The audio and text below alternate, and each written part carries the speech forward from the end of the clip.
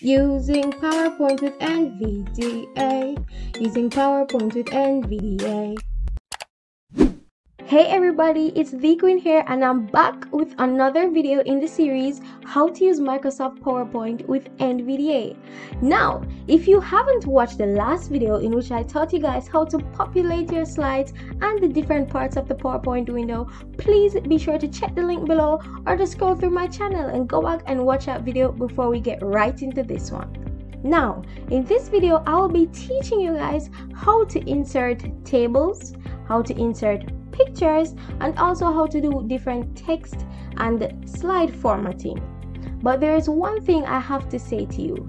Even after doing all of this, especially where the slide formatting is concerned, remember that Microsoft PowerPoint is really a visual program so even the accessibility is limited. Even after i show you how to do these different formatting and stuff by yourself it's still best especially if you're in a professional scene it's still best to get someone who is sighted to do a final look over at your presentation to tell you that it's exactly how you want it to be so let's get right into it. So firstly, I have to open up my PowerPoint presentation. Remember that little one that we are doing in the last video? I saved it as Jamaica. Jamaica dash PowerPoint.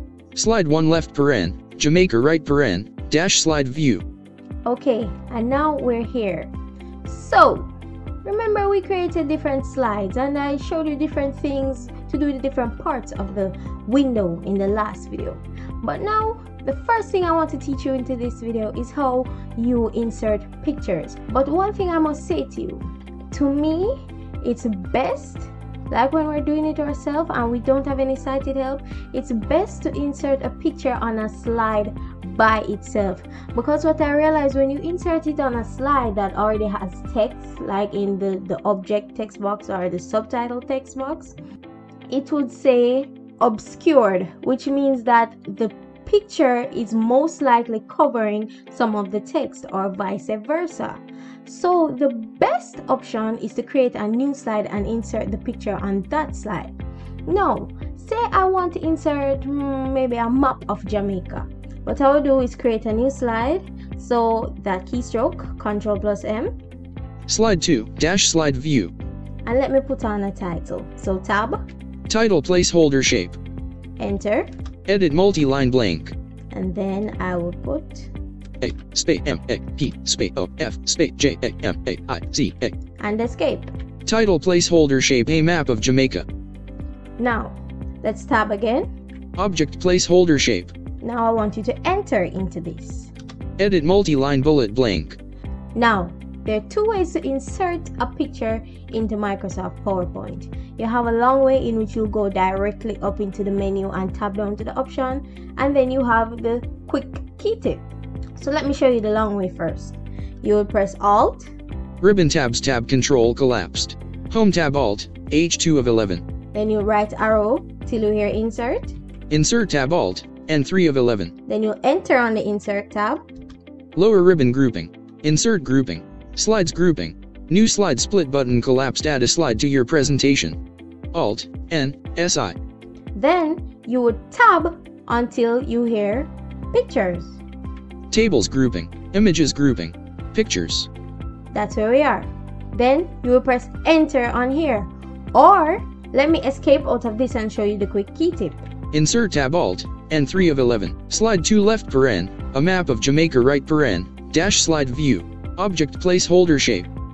The quick key tip or keystroke in order to insert a picture into Microsoft PowerPoint is Alt plus N and then P. So you'll press the Alt and the N together and then you'll press P by itself. So let's try that.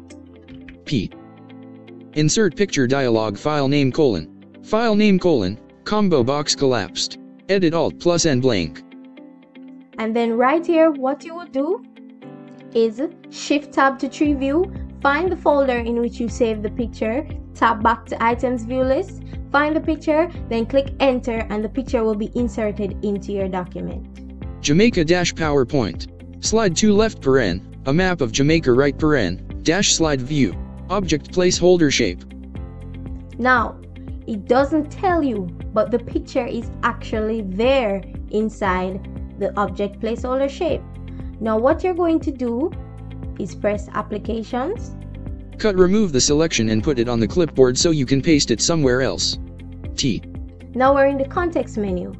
Now what you want to actually do is to put an alt text on the image. So say for example we're doing a presentation and some visually impaired persons are also being involved in the presentation. They want to know what's on the picture as well. So when you put an alt text, it can actually describe to them what is on the picture. So you can down arrow in this context menu to find edit alt text or you can just use the quick key tip while in this menu which is A. Jamaica Dash PowerPoint. Toolbar. Edit multi-line blank. Pane. And right here is where you will put the description of the image. So F I G U R E space 1 space A space I L L U S T R A T I O N space O F space T H E space M A P space O F space J A M A I C A. Then you will tab. Generate a description for me button. Then click enter on here. Use intelligent services. Then tab. Not now button. And enter on this button. Jamaica dash PowerPoint. Slide 2 left paren, a map of Jamaica right paren, dash slide view. Object placeholder shape figure 1 a illustration of the map of Jamaica. And there it is. Also, I want to let you know that you don't have to actually enter into the object placeholder to insert a picture.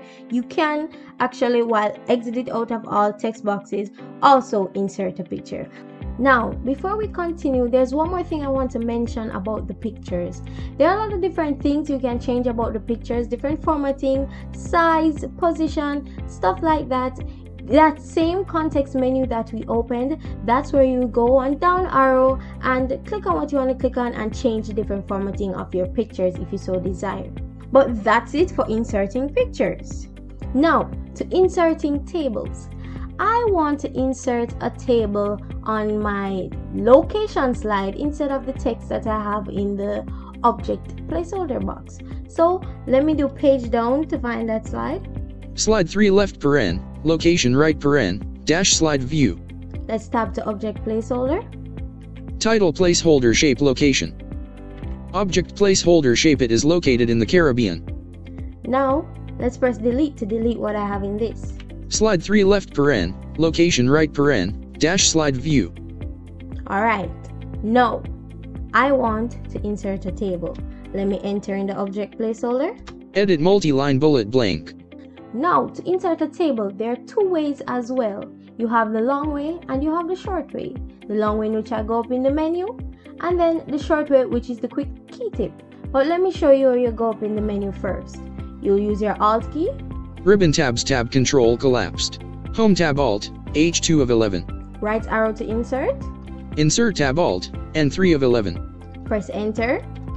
Lower ribbon grouping. Insert grouping. Slides grouping. New slide split button collapsed add a slide to your presentation. Alt, N, SI. Tab till you hear tables. Tables grouping. And right here you would click enter but now let me show you the quick keystroke or key tip. So escape out of this. Insert tab, slide 3 left paren, location right paren, dash slide view, object placeholder shape, edit multi-line bullet blank. Now, the quick keystroke or key tip in order to insert a table is Alt plus N and then T. So let's do that. T, table data grid, 1x1 table grouping, 1x1 table 1 of 80.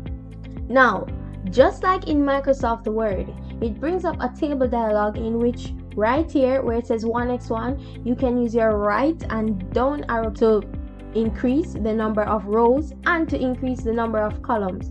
But what i realized and i've tested is that when we use it this way in order to insert the table once the table is inserted nvda stop announces to you what you are doing.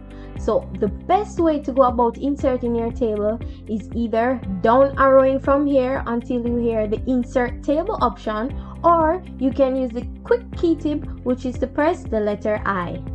I. Insert table dialog. Insert table window. Number of columns spin button. 5 edit 5. Insert table dialog.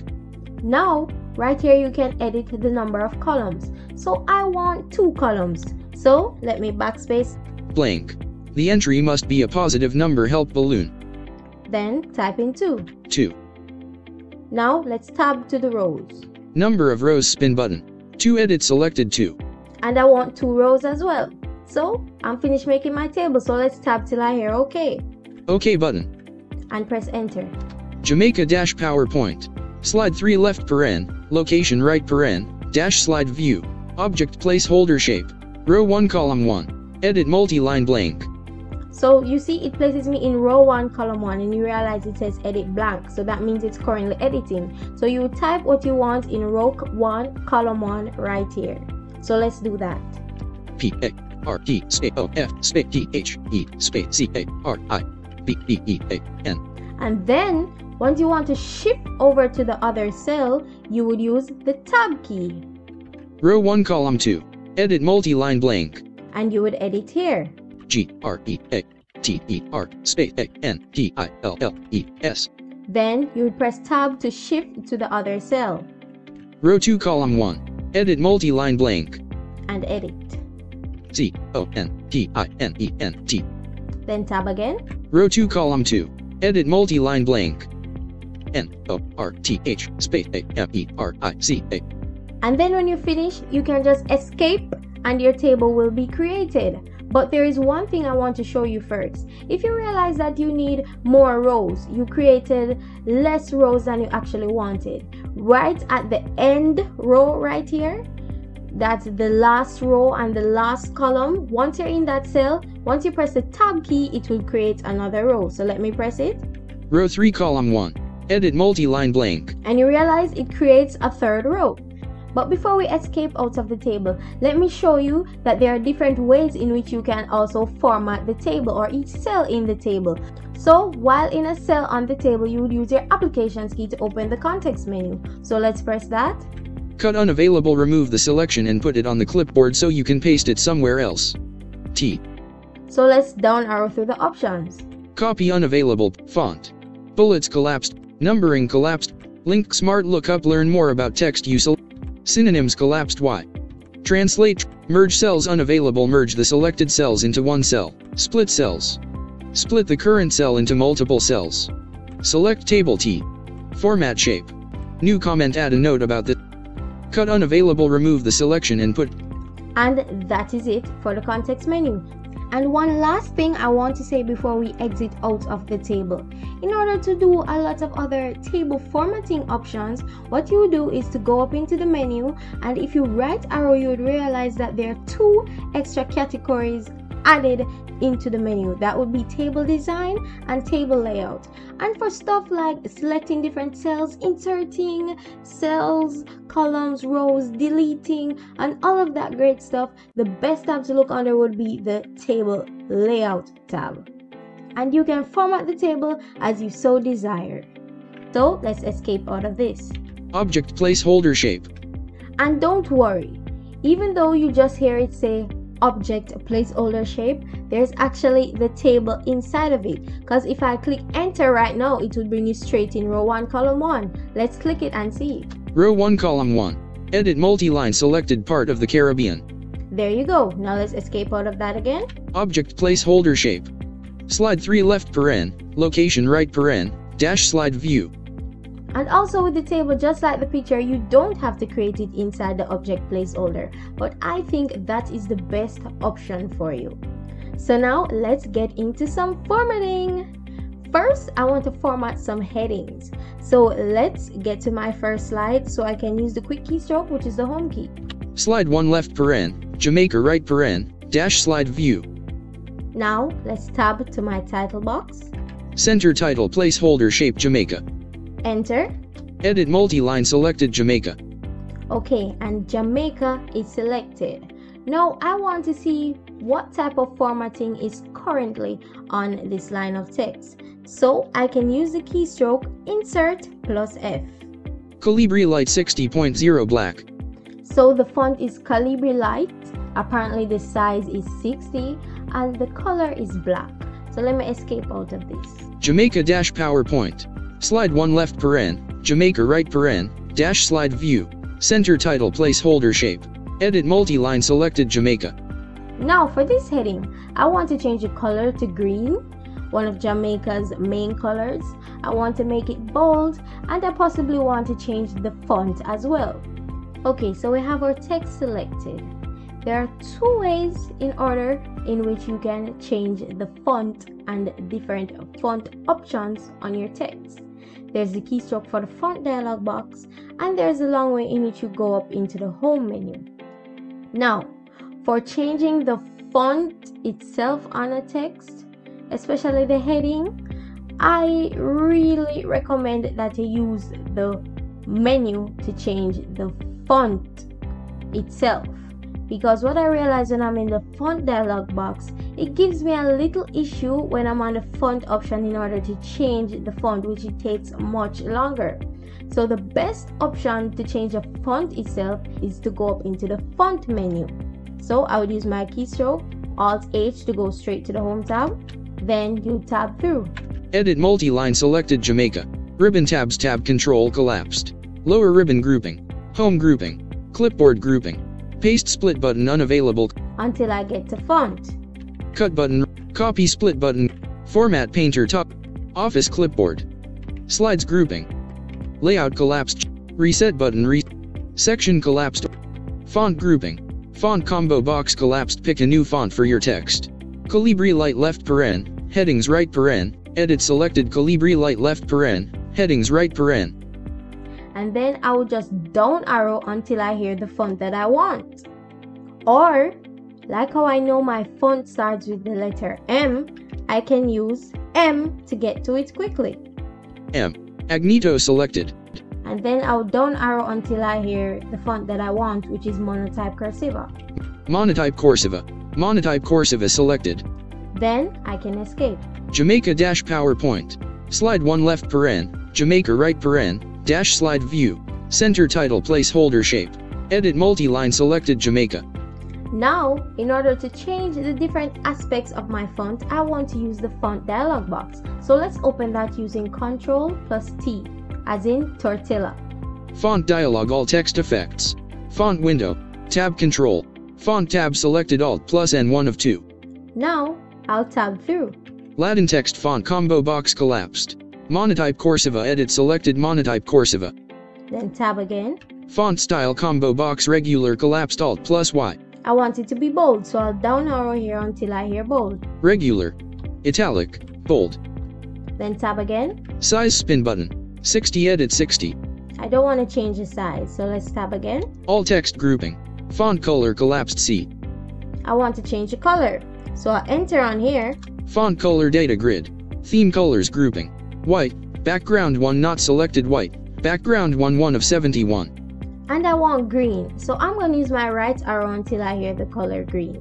Black, light gray, blue dash, blue, orange, gray, gold, accent, gold, theme color, blue, green, white, back, green, green, accent 6, lighter 80%, not selected green. Accent 6, lighter 80% 20 of 71. Then I'll press enter on it. Font color collapsed C.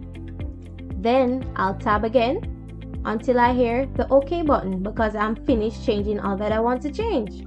Underline style, effects grouping, double strike through, ch superscript checkbox, subscript checkbox, offset spin button, small caps check, all caps ch equalize character, OK button, space, Jamaica dash PowerPoint, slide 1 left paren, Jamaica right paren, dash slide view, center title placeholder shape, edit multi-line selected Jamaica, now, while I have the text still selected, let me do insert plus F let you see that the formatting has been changed. Monotype Corsiva 60.0 yellow dash green white bold.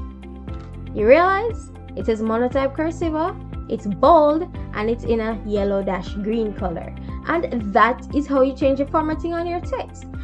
But I'm sure you don't want only the formatting on your cover page to be changed. What if you want the same heading style that's on your cover page to be on the other slides as well? There's a way to copy and paste the formatting of any text.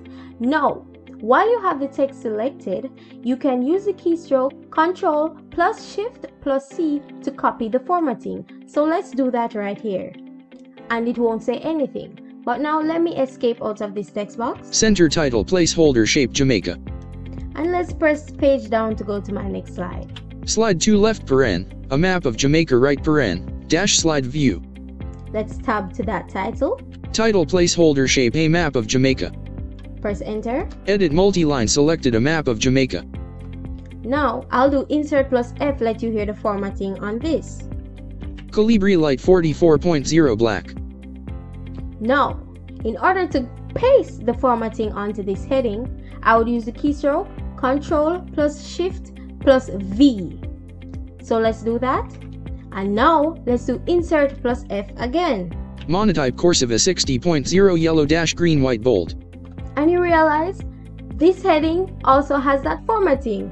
And I want you to know that that works with the other text on the slide as well. So not only for the headings, but for the other text on the slide, this is how it works. And if you want to bold just one word in a line of text, you'd have to highlight just that one word then you'll go into your font dialog box and then you'll be able to change all of that you'll be able to change the different fonts of the different text and all of that stuff but wait i almost forgot to mention same like in microsoft word control b for bold control i for italics and control u for underline those all work in these text boxes as well on PowerPoint.